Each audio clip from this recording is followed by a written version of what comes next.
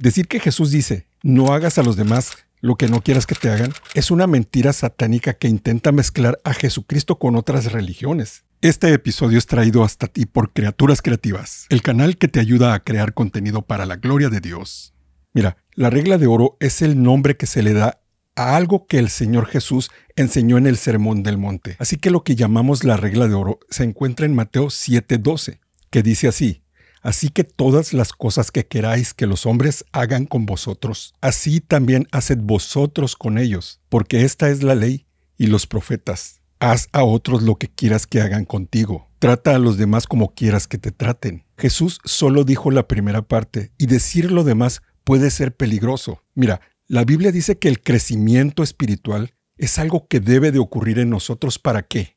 Para que ya no seamos niños fluctuantes, llevados por doquiera de todo viento de doctrina, por estratagemas de hombres que para engañar emplean con astucia las artimañas del error. Decir que Jesús dijo lo demás es un error. Así que el primer problema con agregarle a lo que el Señor dijo es que es un error. El Señor no dijo eso. Y los falsos maestros, que son siervos del que es homicida desde el principio y padre de la mentira, utilizan las artimañas del error para engañar a las personas astutamente. Así logran llevarlos por falsas doctrinas, por doctrinas de demonios. ¿Te das cuenta? Un simple error al decir algo que el Señor no ha dicho puede ser utilizado por personas muy astutas para perder a las personas. El segundo problema es que cuando decimos que Jesús ha dicho algo que no ha dicho, implícitamente estamos diciendo que la Biblia dice algo que no ha dicho, que la Biblia dice algo que no dice. ¿Por qué? Porque las cosas que sabemos que Jesús dijo, las sabemos porque las dice la Biblia. De hecho, yo he escuchado a algunos hermanos bien intencionados que dicen, la escritura dice, trata a los demás como quieras que te traten y no trates a los demás como no quieras que te traten o algo así, una variante de eso. Y tú sabes, amado hermano hermana, que agregarle o quitarle algo a la Biblia es sumamente grave y siempre trae consecuencias. El tercer problema con decir algo que Jesús no ha dicho es que el que escucha puede llegar a creer que eso es verdad, puede llegar a creer que Jesús en verdad dijo eso. Y el problema es que creer de manera dogmática, doctrinal, que Jesús dijo, no le hagas a los demás lo que no quieras que te hagan. Ese principio por sí mismo nulifica, desvirtúa, le quita el poder espiritual a las palabras de Jesucristo que sí dijo, que son, así que todas las cosas que queráis que los hombres hagan con vosotros, así también haced vosotros con ellos, porque esto es la ley y los profetas. Pero ¿por qué decir lo otro le quita el poder espiritual a lo que sí dijo el Señor Jesucristo? Jesús conocía el corazón humano.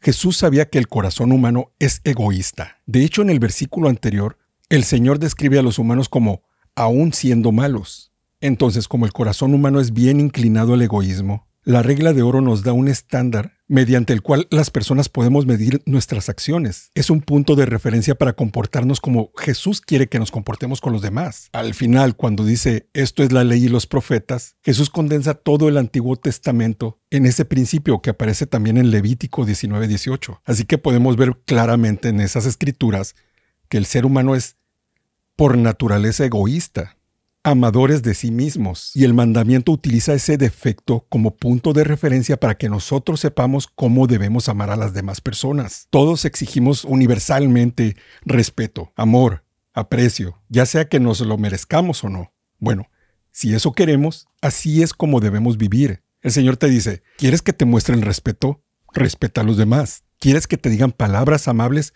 Di a los demás palabras amables. No es una fórmula mágica para recibir algo aunque sí funciona para recibir ese tipo de cosas, es más bien un estándar de vida. Más bienaventurado es dar que recibir. Así es como quiere que tu Señor que te comportes.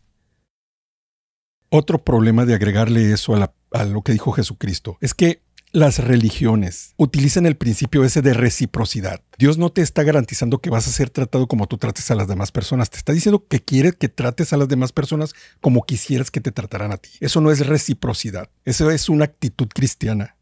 Bueno, todas las demás religiones se rigen básicamente por el principio de reciprocidad. Decir que Jesús dice, no hagas a los demás lo que no quieras que te hagan, es una mentira satánica que intenta mezclar a Jesucristo con otras religiones.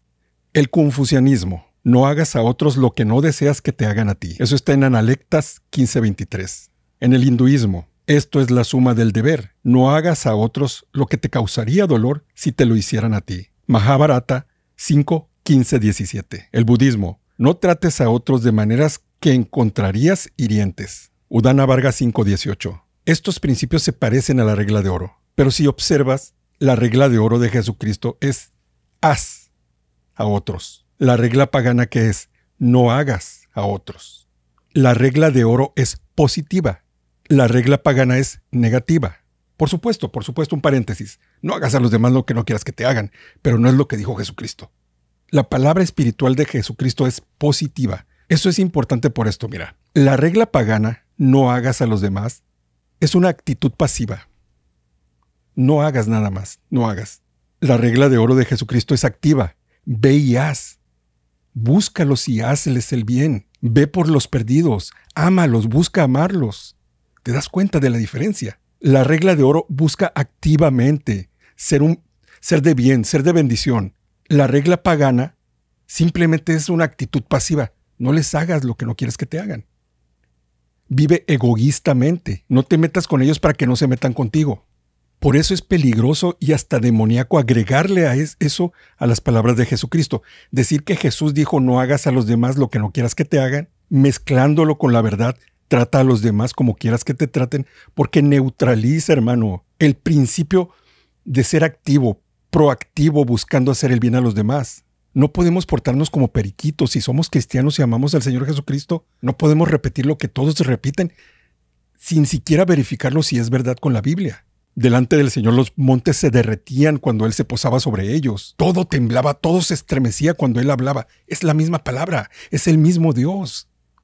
Déjame tomar un minuto de tu tiempo para hablarte de criaturas creativas. Algo realmente interesante está pasando con YouTube. Resulta que debido al auge de TikTok y ahora Facebook que le está haciendo la competencia a YouTube, está empezando a impulsar a los pequeños creadores de contenido. Hace poco estuve en una charla con otros creadores de contenido y nos hemos dado cuenta de que YouTube quiere impulsar a los nuevos creadores de contenido, a los canales pequeños. Bueno, se está abriendo una oportunidad para ti si quieres crear contenido. Por eso te invito a que te suscribas a mi otro canal, Criaturas Creativas, que no había subido contenido ahí porque había perdido la contraseña, pero ya la recuperé. Y ahí te voy a enseñar cómo crear contenido para las redes sociales que sea interesante, inspirador y sobre todo que lleve mucha gloria a Dios. Abajo en la caja de comentarios te voy a dejar un enlace para el canal Criaturas Creativas. Pronto, primero Dios, estaré subiendo nuevo contenido. Hermano, tus palabras, las palabras tienen poder, y no me refiero al poder supersticioso de declarar y decretar. Me refiero a que el Señor dijo, así será mi palabra que sale de mi boca. No volverá a mí vacía, sino que hará lo que yo quiero, y será prosperada para aquello para que la envíe. De modo que la palabra de Dios expuesta a los oídos de las personas produce cosas en ellos, tiene poder, y es la palabra que tú puedes exponer a ellos. Eres portador del poder del Señor. Pero si la palabra es distorsionada, ¿tendrá acaso un poder distorsionado? Para muestra basta un botón. Observa cómo está la condición de la iglesia actualmente. Todo el desorden que se vive y los abusos de los falsos maestros que les exprimen el dinero a las personas y todo haciendo uso de qué? De palabras distorsionadas, malintencionadas. Precisamente por eso la iglesia tiene tan poco ánimo y poder evangelístico. Así que si en verdad quieres hacer una diferencia, antes de decir, la Biblia dice, la palabra de Dios dice, el Señor Jesucristo dijo, verifica por favor hermano, que en verdad lo haya dicho.